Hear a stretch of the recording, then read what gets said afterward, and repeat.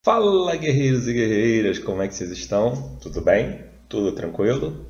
Então galerinha, vamos corrigir agora a questão 89 da prova do CFS, Escola de Especialista de Aeronáutica, tá? Segunda 2023. Mas antes, se você está vendo pelo YouTube, já deixa aquele like e já compartilhe, já comente, tá?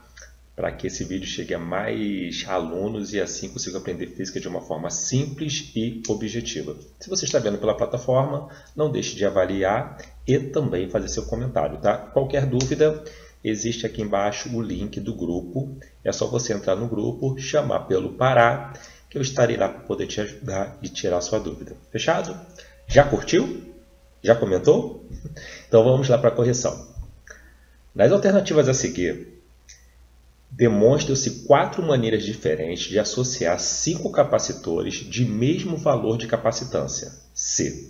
Então, todos os capacitores têm a capacitância igual a C, são iguais.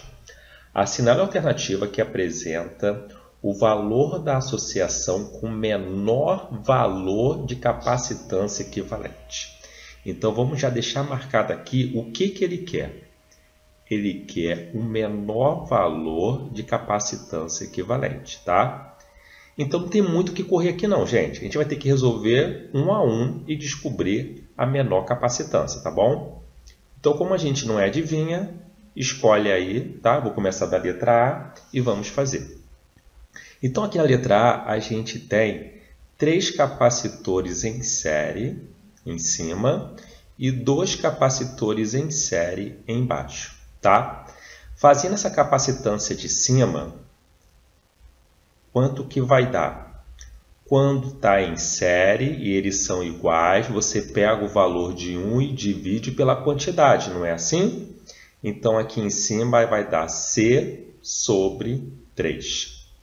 E aqui embaixo vai dar C sobre 2. Fechado? Agora eu tenho C sobre 3 em cima e C sobre 2 embaixo. Quando eles estão em paralelo, o que, que a gente faz? A gente soma.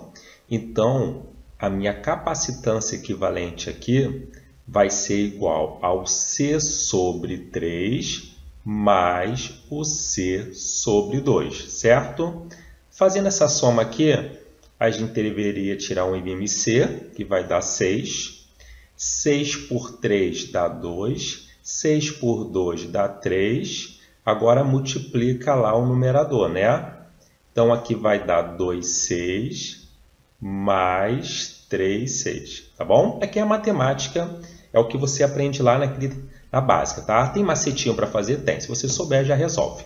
Quanto que vai dar aqui? Vai dar 5C sobre 6, tá? Bom, quanto que dá 5 dividido por 6? Bom, vamos fazer aqui um rascunho. 5 dividido por 6, boto 0, fica 50.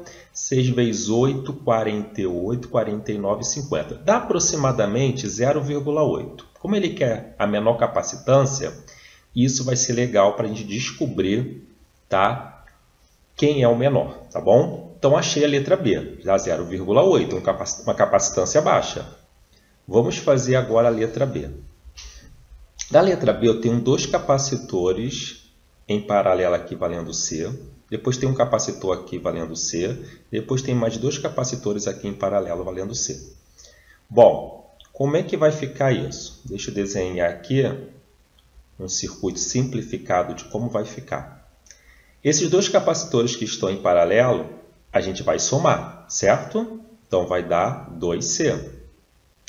Aí aqui continua C, que é esse aqui que está no meio, e aqui também vai dar 2C, tá?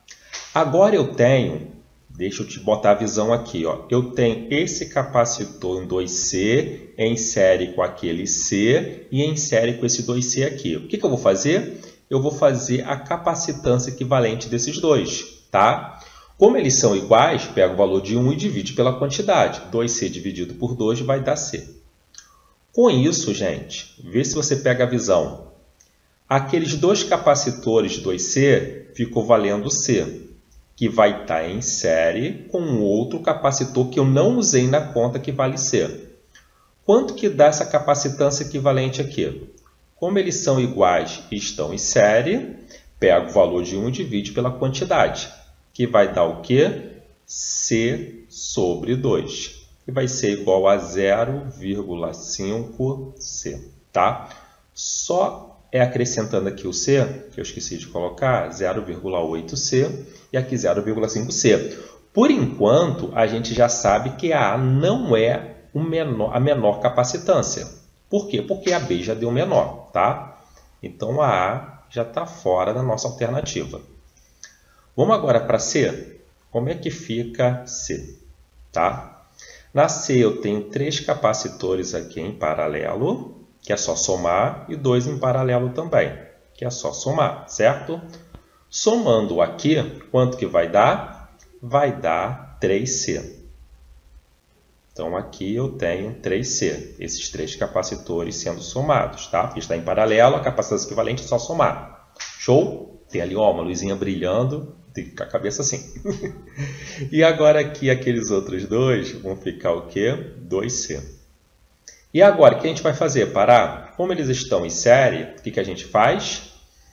Como eles não são iguais, não dá para pegar o valor de 1 e dividir pela quantidade. A gente vai ter que fazer produto pela soma, tá?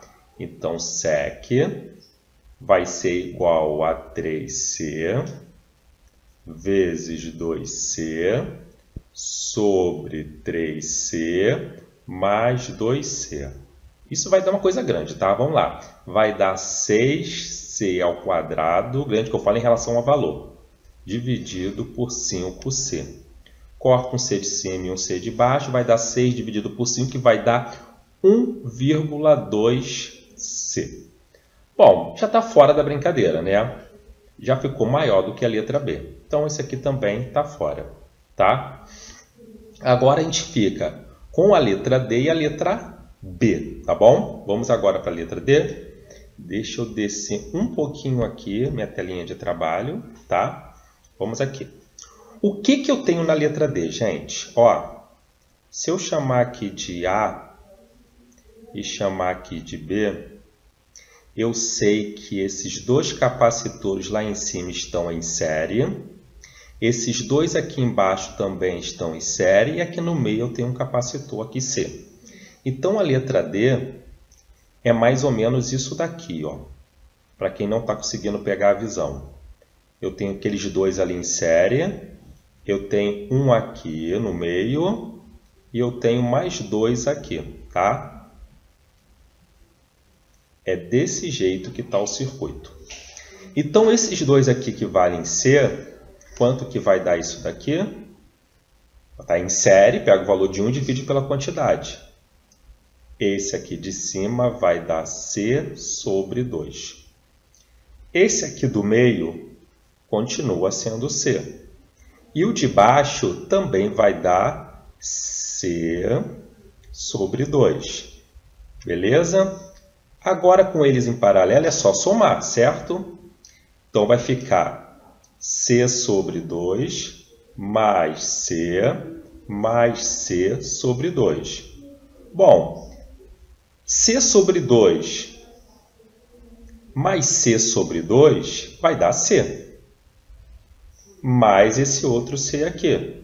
Então, isso vai ser igual a 2C. Opa, ficou um valor bem alto, né? Então a letra D também não é. Então, gente, o capacitor aqui, o circuito que tem a maior capacitância é o circuito da letra B, B de Brasil, tá? Show? Entendeu? Se entendeu, já deixa seu comentário. Se não entendeu, também deixa seu comentário. E não esqueça de curtir esse vídeo e compartilhar com seus amigos, tá bom? Então, resposta certa, letra B. E não esqueça, eu, Pará, estou com você até o final da preparação que você está fazendo. Mac.